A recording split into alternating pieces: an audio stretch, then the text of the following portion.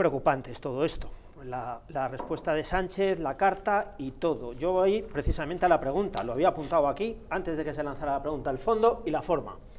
Voy a ir por partes.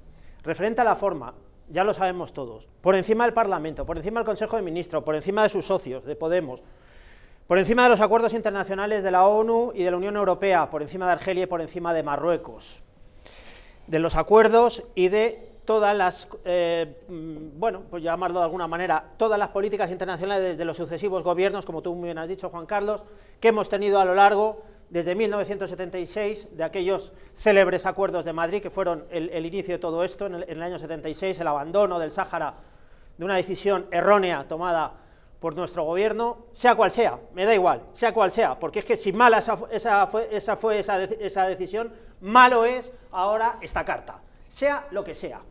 Esto es en cuanto a la forma. Bueno, la, carta me, me parece una carta miserable. Miserable. Y ahora voy a entrar en el fondo. ¿Por qué me parece una carta miserable? Porque no se habla de Ceuta y Melilla.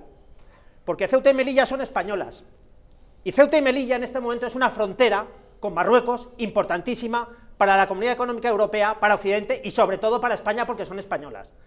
Porque no se habla de Canarias y sus aguas territoriales, porque tenemos un problema con las aguas territoriales en Canarias también con Marruecos. Y eh, Ceuta y Melilla y Canarias son españolas, que eso lo tendría que poner en la carta.